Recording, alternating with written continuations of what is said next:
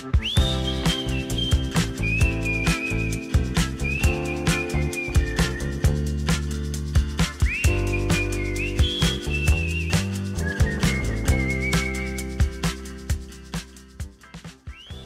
to The Great Exchange, a podcast about examining the lies that we believe and exchanging them for God's truth. I'm your host, Brady Cone. Today's podcast is going to look a little different than normal. A while back, I had the opportunity to tour around to several cities with Josh McDowell and speak alongside him at some conferences.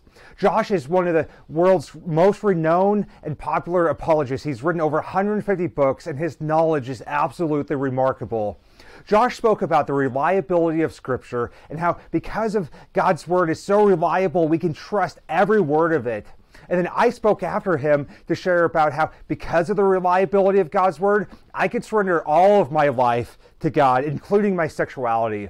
So what follows is my testimony from those events, and at the end is some Q&A time where Josh and I together are able to answer some of the questions that, that the audience had.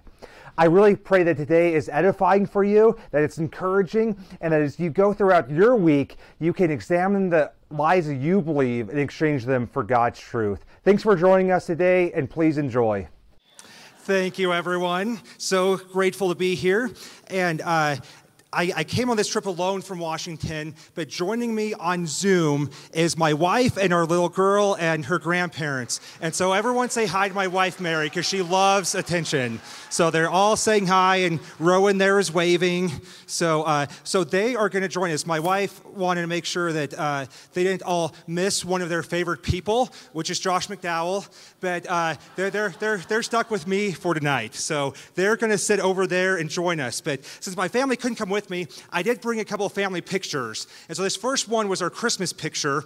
We have a little farm in Washington, so we have our sheep and our little donkeys and some chickens, and of course, Tuxedo the cat uh, sitting on my lap. And so we love our little uh, farm that we have going on there. The next picture is Rowan with one of our little donkeys. That was just a couple weeks ago. His name is Jerry, because they're all named after Seinfeld characters. So, so that's Jerry. The next picture, I just couldn't help myself because she's, I took that right before I left, and uh, she is precious. So we live on this little farm in Washington. But my story actually begins on another farm. I remember growing up on a farm in Nebraska. And growing up on the farm, I always remember feeling different than the rest of the boys. I always remember looking at my dad and my brother and thinking, there's something about them that is different than me. Uh, there's, I, I don't quite fit in with them. I feel kind of excluded from this world of manhood and whatever that is. And it wouldn't be until years later when I'd figure out what that difference was. In the meantime, I grew up going to church. We are a church going family. We went to church on Sundays. We prayed before our meals. We did all those things that good church going families were supposed to do. But my life got a little bit messy when I was about 11 years old and my parents got a divorce. And many of you guys have dealt with those situations. You know how hard that can be for a family. My family's life was kind of chaotic for a few years. It was also during the beginning of that time I started to really struggle going into junior high age. You know, junior high is a horrible time for everyone, right? It's like it's it's really awkward and confusing. And you're going through all these changes, and I, all the boys my age were starting to notice girls in ways that uh, they had never noticed girls before. All of a sudden, girls went from having cooties to being kind of cute. There's that type of transformation happening. But I wasn't feeling those feelings for girls, but I was starting to feel those feelings for other boys. And I didn't know why I was having those feelings. I was really confused by that. And I had enough church background to know that homosexuality is a sin. But I had always heard it preached from, from some very kind of self righteous preaching that always made it sound like it's the one unforgivable sin. So, just the fact that I was dealing with these feelings and dealing with these attractions consumed me with shame and guilt. Well, I did a really good job of keeping a secret for a couple of years because I didn't think I, I had anyone to talk to. My family life was kind of a mess. And my family had really walked away from Christianity because it had been so much about image, and now the image is over, right? Uh, the image is blown, so we might as well walk away. But I kept going to youth group on Wednesday nights because deep down I really wanted to know who God was. Well, when I was 13, I decided that I've got to tell someone. I've got to tell someone what's going on inside of me. And maybe a youth leader, maybe one of the youth pastors will have an answer for this. So I decided I should tell one of them. But one night at youth group, before I got the courage to do that, was a moment that forever will change my life. I'll never forget sitting there as a hurting, confused 13 year old when the youth pastor made the comment from the pulpit. He said, I wish all homosexuals would die. And that moment just felt like a knife to my chest. I'll never forget sitting there uh, just and thinking, that's me. That's me who he's talking about. So I went home that night and I loaded a gun and I was going to end my life. Because I thought, if it's God's will for all homosexuals die, like I heard a youth group, then I guess I will. So thankfully, by the grace of God, right before I pushed the trigger on the gun, I heard my mom walk in the front door. So I kind of came to my senses and hurried and put the gun underneath my bed before she saw anything. So obviously, I didn't end my life that night, but that was just the start of a downward spiral in my life. That was the moment I put up a wall around myself. I said, I guess I just can't let anyone in. I guess I have to put on an image for everyone. I guess I have to hide this. And it would be years until I would step inside the doors of a church again. So going through the rest of high school was like a pendulum of emotion swinging back and forth. It was shortly after that youth group incident that I discovered online pornography, which 20 years ago was uh, pretty new in our culture, but now obviously it's rampant everywhere, and so many men cons- and women consumed with addiction to it. But my addiction to pornography was more than just a sexual addiction. When I discovered this pornography, I discovered a place where these people seem to have the same feelings as me. They have the same desires as me. I desperately want to belong somewhere. I want to be understood. And it felt like the only place where I could belong was in this online world of darkness. And so, as my pornography addiction grew, uh, like many sexual addictions do, over time, uh, what you're seeing on the screen is not enough. And you need to start acting on. It. So I started experimenting with same sex encounters and relationships and pursuing the LGBTQ community. And one of the things I experienced as a child, which I always hate to say this at church, but it's true, but at that time, I, my experience was that the LGBT community was much more loving than the Christian community. And so I was desperate to have that community where I could feel loved and understood.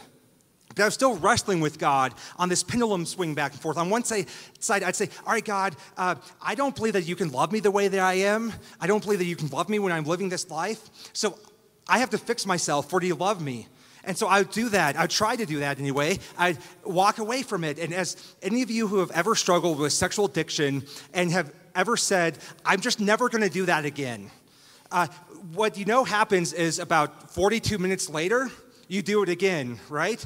And then you're hopeless. Your hopes are dashed, and you say, I just can't do it. I guess this is who I am. And so that's where I was when I graduated from high school, is I had just accepted that I'm gay and that's who I have to be. Our society was talking about these issues a lot more, and what they were saying was that if you are attracted to the same gender, then you're gay, and you need to accept that as your identity and your lifestyle to have fulfillment and happiness. And so it made sense to me. It felt like I was just born this way. So I guess that's just the way I am. Well, I went on to college at a small college in Nebraska called Chadron State College. And I'll never forget pulling up to campus for the first time to move into the dorms. And I pulled up, there's this group of guys standing there who offered to help me unload my things, which I, I thought was the most amazing thing ever. It turns out it was the typical church college uh, freshman move in outreach. But I was so grateful that these guys helped me move in. And so then they invited me to a ministry on campus that met on Wednesday nights. So I went to this ministry the first Wednesday night, not because I was walking with God, not because uh, I, I knew the Lord as my Savior, I was hard hearted and bitter and angry, but I was also kind of a loner and I really wanted to make some friends. I thought maybe this would be a good place to do that. Well, I faithfully showed up every Wednesday night for two years, and I'm sure that the gospel was preached, but nothing I heard from the pulpit really changed my life. But what did change my life were some of the relationships that were built there. These upperclassmen men who started to pursue me, who started to love me, who started to include me in their community that I so desperately wanted to belong to. And these guys would ask me spiritual questions. They would uh, try to probe and you know uh, find out what's going on in my heart. And I had enough Sunday school background to give them the answers that I thought they wanted to hear. But they knew that something was wrong, but they continued to love me and pursue me and try to dig a little bit deeper into my life. So I didn't realize during this time that how God was using them to soften my heart. God was using them to show me a different picture of Christianity. It wasn't just this Christianity where they showed up at church on Sundays and put on a mask and pretended like their life was okay. This was a Christianity where they so deeply loved Jesus, they loved people, they were authentic and real and open about their own sin and their struggles. But they weren't just authentic for the sake of authenticity, they were authentic for the sake of repentance. And because of that, I could see Jesus working in their lives and changing them from the inside out. Well, things came to kind of a breaking point after my sophomore year. I ended a same sex relationship and was really, really hurt and left broken and hurting and confused. And I remember thinking during these times, after every relationship, after every sexual encounter, after having the things that the world w- said would make me happy, I remember them not make me happy. I remember walking away from them saying, This isn't doing for me what it promised to do for me. This isn't doing for my soul what it promised to do for my soul. Because I finally had it, but the more I had of it, the more that I needed. And it was leaving me feeling hurt and broken and so unloved. Well, I decided in the state of hopelessness that one of my only options was to end my life. But I said, before I end my life, I want to tell one of my Christian friends about this life I was living. And it's going to be affirmation that they don't actually love me. It's going to be affirmation that they only love the person they think I am. They only love the image I portray to them. Once they find out what's actually going on inside, there's no way that they'll actually love me. So I wrote out a whole letter and I, I read it to my friend Lex. And I'll never forget sitting there with him. I, we were in my stepdad's house, and I actually had a gun loaded in my room and said, When he rejects me, that's going to be the end of my life. Well, I'm standing here today, so obviously Lex didn't reject me. Instead, he, he, I'll never forget, I poured out my heart to him. He came across the room, gave me this big hug, said, Hey, man, I love you. And it's going to be okay because God's grace is sufficient, and your sin is no better or worse than my sin, and we're going to get through this together. And that just, that just blew my mind. That just blew my mind that a Christian of all people could love me so well. And what I couldn't get out of my mind for the next three days was that that can't be Lex who loves me. That has to be the Jesus I see in him who loves me. Because for two years, I'd been seeing Jesus change his life from the inside out. And so, because of this conviction, for the first time, that I think that Jesus loves me, despite my sin, despite all the stuff I've been doing and the way I've been living, I think that Jesus still loves me. And so, because of that, on June 21st, 2006, I fell to my knees in repentance towards Christ. And you know, I had always called myself a Christian. I'd always done so many of the Christian things. I had the label, I checked the boxes. Uh, but what I realized in this moment was that my faith had been my demands on God. It'd been my terms and conditions. It'd been me telling God, all right, God, I'll follow you, but I expect that you instantly make me attracted to women, take this struggle away, give me a wife, a house, the whole American dream. And so my faith was nothing more than my demands on God. But finally, God brought me to a place of surrender where I said, I don't care what it takes. I don't care what I have to do. I don't care who I have to tell. I don't care what it costs me. I trust that you love me, and that love is enough. Therefore, I surrender my life to you. And that was the moment that the Holy Spirit entered into my life and I came to know Christ. Well, my life instantly started to change. I, I told the rest of my Christian friends, and I, I, thought I'd done a really good job keeping it a secret. It turns out they knew a lot more than I thought that they did. But, uh, but I told them, and for the first time, I had community where I could pour out my heart and be real. And they, these guys knew nothing about homosexuality. But what they did know was that God's word has the answers for everything in life. So they started to read with me and pray with me and read scripture with me. And that summer I started fall in love with Jesus and, and his word and, and the hope that I found in it. Many times um, we see these sins as just so messy and so foreign. One time I was speaking at a church and a lady came up to me afterwards. She said, I know I should reach out to my lesbian neighbors, but that sin is just too yucky for me. And I, I had two responses for her. I, said, first of all, go home and look yourself in the mirror and understand that Jesus had to hang on the cross just as long for your sin as he did for your lesbian neighbor. And I said, secondly, go to Acts 17. And we see where Paul goes to Athens and he sees a city that's so full of idolatry that he's physically sickened by it, and that included sexual sin and homosexuality. But he didn't say, that's too yucky for me. He went there and he lived with them. So he says this so he could understand the idols that their hearts were serving and proclaim Jesus to them. So that's what these men did in my life. They were the Paul who uh, knew that their discomfort was worth it for the sake of the gospel. That they could enter into the messiness of my life and understand the idols I was serving so they could proclaim the truth of the gospel in my life and give me hope. So that summer, my life was completely changing. And, but the problem was, I still had this struggle. I still had this, this, uh, the, these feelings, these attractions, these temptations. So, what do I do with that? Uh, I tried over and over again to make them go away, and they didn't. But I finally, for the first time, I had hope that I could live a different life because I found 1 Corinthians chapter 6.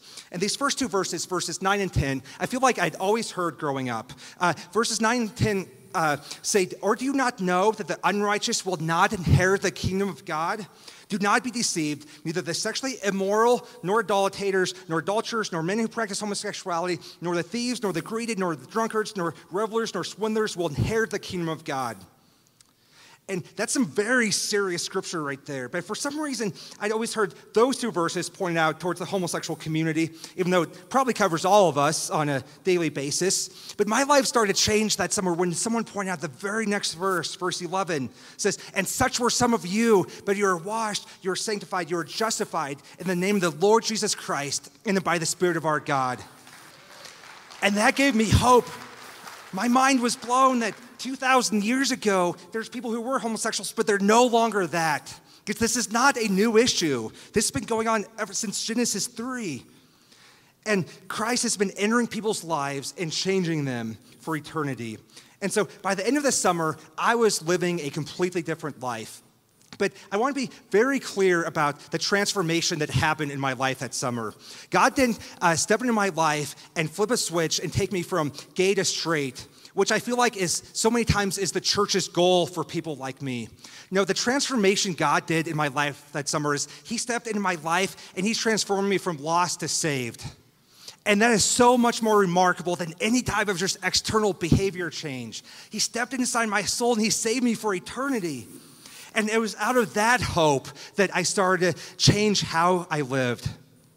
We live in a world that lies to us about so many things, and one of those is sexuality. Our world tells us that our humanity is found in expressing our feelings. Our humanity is found by living out whatever is going on inside of us, regardless of where it comes from. But Christ comes along and says our humanity is in Him because He made us in God's image. So we are more human when we surrender to Him and the person He wants us to be. I discovered that summer that I could surrender all areas of my life to God's Word because it was all reliable and trustworthy. I, I discovered resources and books like the book More Than a Carpenter. Ever, ever heard of that one? And I read it that summer, and it's like this every word of this book is true. So I can't pick and choose what I believe. I need to surrender my life to all of it. So that summer, I surrendered my sexuality to Christ too, and I walked away from the homosexual lifestyle. God gave me value. He showed me that uh, as part of this transformation, that I have value because I am His child, made in His image. He, he gave me uh, power. He showed me that now that I'm a believer, I have the power of the Holy Spirit in me to deny myself, which is not a, power that a non believer has. And lastly, he gave me a new identity. He showed me that I'm not defined by my struggles. I'm not defined by my feelings. I'm not defined by the labels that, that society gives me or that sometimes even the church gives me. But my identity is in Him, only Him. And over time, my identity in, my, uh, in Jesus started to outweigh my identity in my sexuality. And I was living a different life.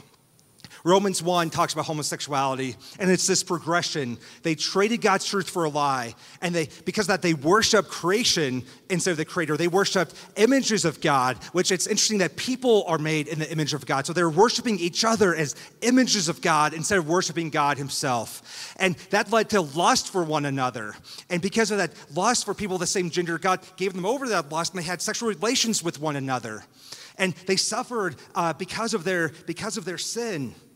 But God, through His grace, took me down a reverse course of that, where through the power of the Holy Spirit, He helped me get control over how I was living, showed me that I can deny myself on a daily basis, regardless of the feelings that I have. And he, then he started, through this process of sanctification, started to reveal some of the lies that I had believed that had led me to that place. And through his grace over these last 15 years, continues to reveal those lies and exchange them for his truth. I now have a life that I never imagined that I would live. Freedom, not necessarily always freedom from temptation and desire. I sometimes have to go to the Lord and have to repent and check my heart and still process what lies am I believing. But I live a life of freedom I never imagined I could have. I have a beautiful wife at home and a beautiful little girl. And whenever, uh, though I, I, talk about my marriage, I always want to make it clear to Christians that me being married to a woman does not heal me. It is not a sign that I've been healed. It should not be the goal for a same sex attracted person because our redemption does not come from, Christ, from marriage. Excuse me. Our redemption can only come from Christ. And so it's through redemption in Christ that I can be married and surrender my life to loving another person unconditionally because I have everything I need in Christ. And that is a beautiful picture of marriage that God has for us. One time, uh, when I was dating Mary, uh, Christians kept asking me really interesting questions. They'd, they'd ask, Oh, you're dating a woman, so you're attracted to women now. And I just cringe at that. And I'd say, no, no, no. I don't want to trade my lust for men for lust for women. I want to be attracted to one woman, and that's my wife. And God, through His grace, through now five years of dating, engagement, and, and marriage, has built that desire and attraction in, for her in ways that the world says impossible for someone like me. But that's what happens when our lives are surrendered to the gospel. Uh, he does them what the world says is impossible. With that said, let me close this in prayer. And Josh and Aaron and I believe Nate are going to join us on stage and lead us in some Q&A time. Dear Lord, I thank you so much for this time. I thank you for these people. I thank you that they came to learn and to grow. And I pray that tonight they are equipped to do just that. I pray that they are equipped to step into the lives of their neighbors and their friends and uh, their, their coworkers and understand the idols that they're serving, understand the lies that they have believed, and exchange them for your truth. We pray these things in your name. Amen. As these gentlemen are stepping up here, thank you. I would love to invite you to check out my table in the back. There's some information on the podcast I do where every week we talk about marriage, sexuality, culture, the church. I'd love you to check that out. Check out my website. Uh, there's some encouraging videos, and I'd love to be a resource for you any way that I can. Man, what a wonderful testimony. Josh, thank you so much as well for just. I sat over there and got saved all over again. Amen. Amen. The gospel is good. Amen. Amen. God is so kind. We are so thankful. Both of these guys, can we just have a real quick another hand, round of applause? These guys just being here and serving us and, and preaching the gospel to us again. Thank you guys so, so much. Man.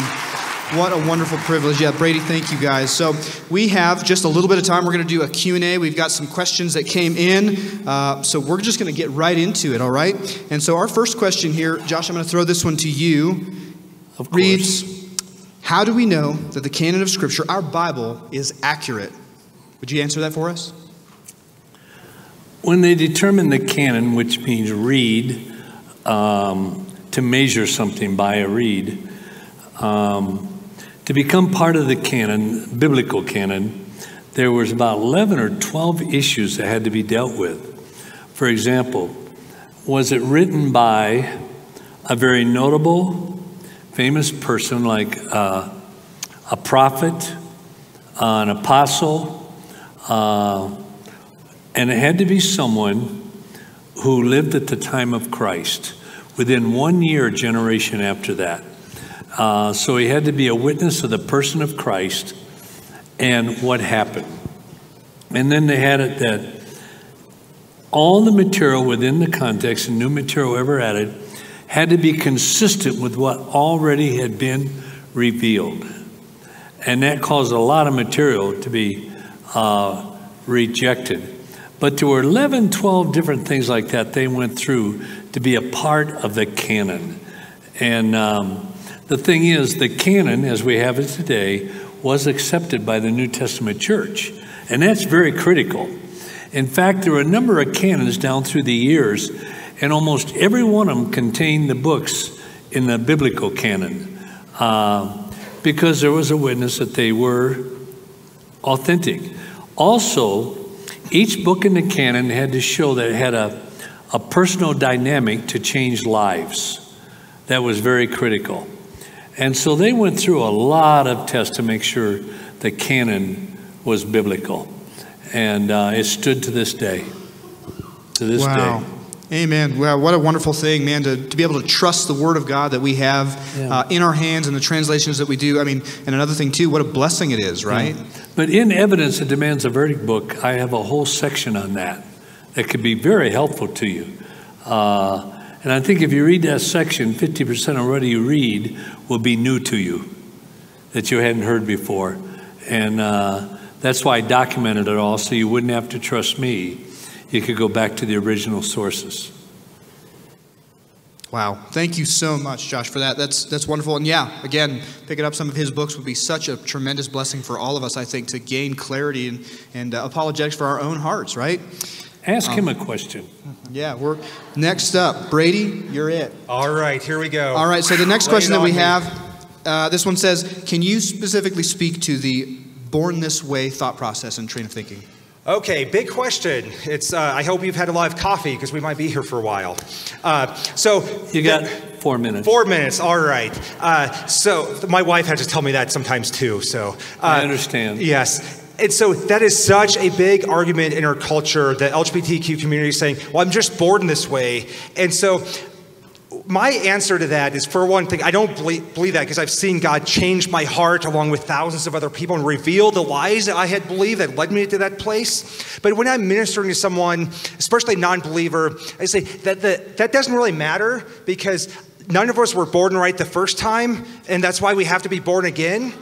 And so, uh, and so that's it, for the sake of evangelism, it doesn't matter. I, it does matter for the sake of discipleship because when someone's a believer, we want to uh, allow the Lord to untwist what their heart had twisted. And so that's where I believe that the Holy Spirit can reveal those things and peel back layers of the onion and uh, bring someone transformation. But I don't argue with a non believer about that because they don't have the Holy Spirit to reveal deep layers of their heart. And so if they believe that they're born that way, then. Uh, then um, I'm not going to argue with them on that.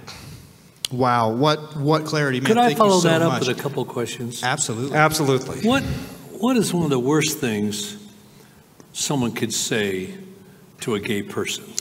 Uh, great question. Um, I would say one of the worst things you can say is oversimplifying it by saying that it's a choice. And sometimes we have this false dichotomy where it's like, well, if they're not born that way, then they chose it. But it doesn't have to be either or. It's like most of us didn't choose the specific sin issues we struggle with. We may have made choices along the way that cemented them into our heart and made it worse. But I remember struggling with desire for men emotionally when I was six years old after being really hurt and wounded. And I didn't wake up as a six year old boy and say, I'm going to be really hurt today by men, and I'm going to compensate for that hurt by this emotional infatuation with them that's going to turn sexual when I'm 11. Like, no one wakes up and makes that choice. And so we have to be very careful to uh, not make assumptions and, uh, and do much more listening than we do speaking.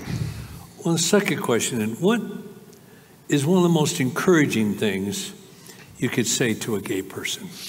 Say you're loved. If, if they make these disclosures and open up about their life, tell them about how incredibly loved that they are, not only by Christ, but by, but by you. And one of the things I say is when they're talking about their struggles is me too, for anyone, because wherever they're idolizing, we've idolized things too. We've all turned to people for our hope and to find our wholeness and find our value instead of Christ. So as they're, uh, as we're engaging with them, uh, all no ground is level on the foot of the cross. And so communicate that they are loved because they have not always experienced that from Christians. I was in Washington, D.C., and there was a gay man from Connecticut that was there that I'd met before. And I saw him at a distance, about from here to those tables. And I rushed up to him, threw my arms around him, gave him a big hug and a kiss on the neck. And he backed away and started to cry. Mm, mm-hmm. And I went, "Phew." I said, What did I do? I said, Are you okay? He said, he said, Thank you. Thanks. I said, What do you mean? He said, The moment somebody knows I'm gay, they back away from you. Hmm. And he said, It makes you feel so dirty. And he said, And you just ran right up to me and gave me a big hug. Hmm. Wow, that's I never powerful. knew that. Absolutely. I just can't, I can't comprehend what a gay person go through in the American culture and most cultures around the world. Mm-hmm. One thing I did with my children there was his name was Jade. I couldn't remember his name the other day. Jade was a gay waiter at a corner restaurant in Laguna Beach, kind of in the gay area. But it was a breakfast wherever my wife and I was in Laguna Beach, we always had breakfast there. And everyone was gay in there but her and me. And Jade was one of the waiters, became a dear friend of ours. And um, I said, Jay, I had two of my children with me because the others were too young. I said, Do you have about 10, 15 minutes you could take a break and come over here? He said, Yes, give me a few minutes. And he came over and I said, Jay, and this is one of the best things I ever did. I said, Would you share with my children what is it like being gay in America? What are your fears, your, your anxieties, and everything? I got to tell you, it's the best thing I ever did for my children. My children gravitate towards gays, homosexual. I want my children raised up to love them because Christ loves every gay person. I've never met a gay person Jesus didn't die for. I never met a gay person God doesn't love as much as He loves me. And so, my gosh, I got to raise my children uh, to love gays. Absolutely. And not just to have an opportunity to witness to them, but to love him as a human being created in the image of God with infinite value, dignity, and worth. And uh, that was one of the more honoring to God things I ever did with my children. And That's then amazing. I invited a gay person to come home with me and have dinner with my family. Mm. And at the table, and I told him ahead of time, it's okay if I ask you to do this. I said, Would you share what is it like being gay in America? Your fears and all. Boy, I got an eye opener. Mm. I learned so much. And the biggest thing, I learned how much I was ignorant about mm. and wrong things that I was saying. And I would encourage all of you to think that through and do it with your children or your grandkids.